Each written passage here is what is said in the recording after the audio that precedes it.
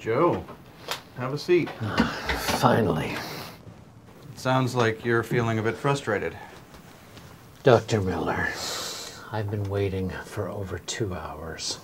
Mm-hmm. Look, when I called this morning, I explained to your receptionist that I needed this refill right away. She said you didn't do refills over the phone. I said, fine.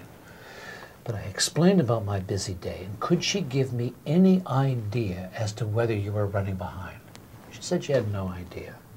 She was completely unhelpful and rude. So it sounds like you didn't get the straight answer you were looking for. No, I didn't.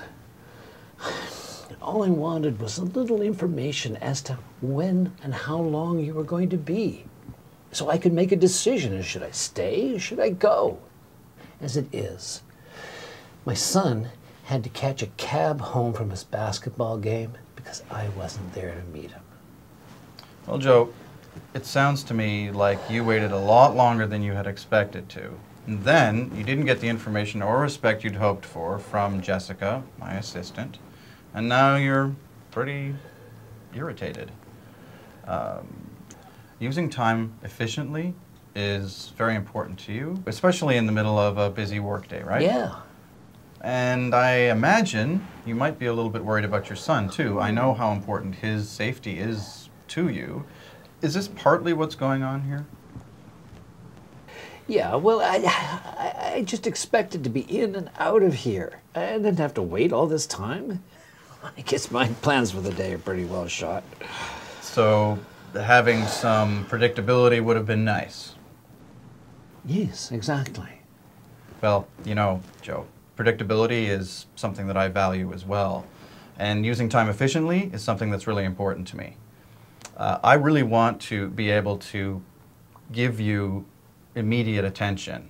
Uh, and so when I hear that you are waiting around for such a long period of time without any explanation as to why that's happening, I feel a bit of disappointment and regret.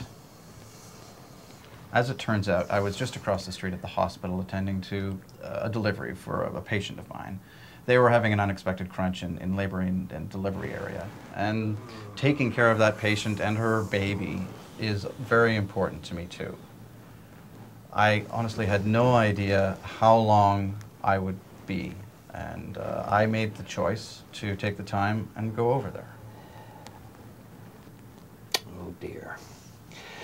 Well, yeah, it's definitely more important than my refill. I guess I owe your receptionist an apology.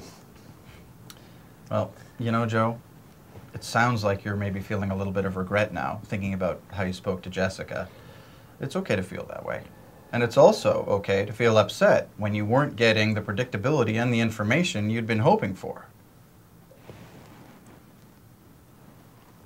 I do my very best to consider everyone's needs, Joe, yours included.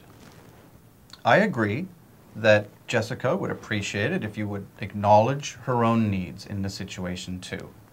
For all, she was doing her best to honor my patient's privacy and my own flexibility. All right? Yeah. Okay. So, uh, what did you need refilled? Ah, yes. Uh huh. Okay, good.